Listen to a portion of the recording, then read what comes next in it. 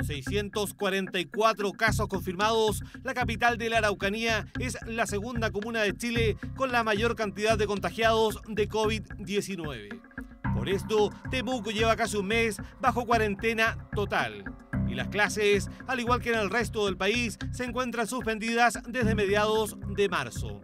En este escenario, apoderados del colegio George Chator solicitaron una rebaja en el pago de la mensualidad. Las necesidades que estábamos pidiendo eran 50 mil pesos de descuento mensuales por cada mes que no existiera clase presencial. Además, queríamos que se le diera la opción a los apoderados de posponer el pago de dos mensualidades para enero y febrero sin el cobro de intereses. Ante la negativa, el Centro de Padres y Apoderados presentó un recurso de protección en contra de la Sociedad Educacional Educar, persona jurídica de derecho privado y sostenedora del establecimiento particular citando la suspensión de clases decretada por la autoridad en representación de más de 800 apoderados, argumentaron que los servicios educacionales no se están prestando en la forma que fueron contratados. Sabemos que esto puede afectar eh, un poco la imagen del colegio, pero nosotros no queremos dañarlo. Nosotros también vivimos ahí y estamos comprometidos con el colegio como familia. Queremos que las cosas se hagan más transparentes y que sean más humanas. La acción judicial interpuesta en contra del colegio asegura que el sostenedor ha actuado de manera ilegal y arbitraria al tratar de modificar en forma unilateral el contrato de prestación de servicios, lo que a juicio de los apoderados constituye una vulneración del derecho de propiedad. La Corte de Temuco acogió la orden de no innovar y decretó la suspensión inmediata del pago de la mensualidad.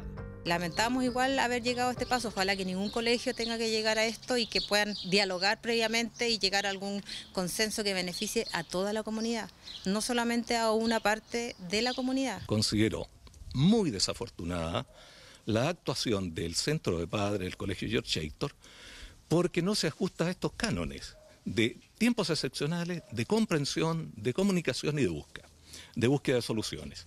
La Corporación de Colegios Particulares argumenta que la suspensión de clases presenciales fue decretada por la autoridad sanitaria. El Ministerio de Educación ha instruido a los sostenedores que se debe reemplazar estas clases presenciales por educación remota, en la medida que se cumpla con el currículum que el Ministerio de Educación establece, se entiende que el sostenedor está cumpliendo con su parte de este contrato suscrito con los padres y apoderados. Es muy lamentable ver hoy en día a miembros de una comunidad educativa enfrentados en tribunales. Nosotros hemos pedido a todos los apoderados, a las familias que puedan cumplir, que lo hagan y aquellos que tienen dificultades que concurran a sus colegios siempre van a encontrar apoyo.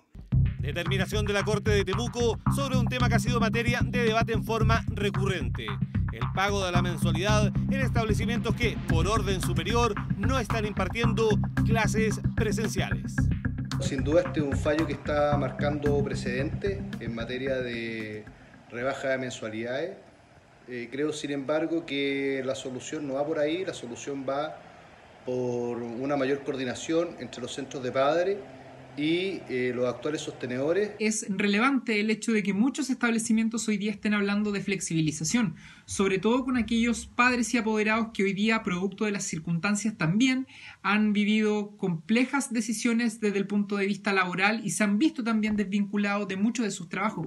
Ahora, la Corte de Temuco tendrá que revisar el fondo de recurso de protección y en tanto no se pronuncie, los pagos de la colegiatura seguirán suspendidos.